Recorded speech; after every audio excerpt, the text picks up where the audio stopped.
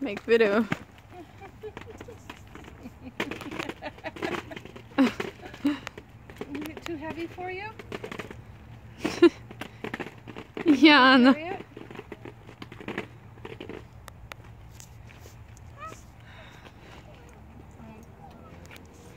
Yeah, of course.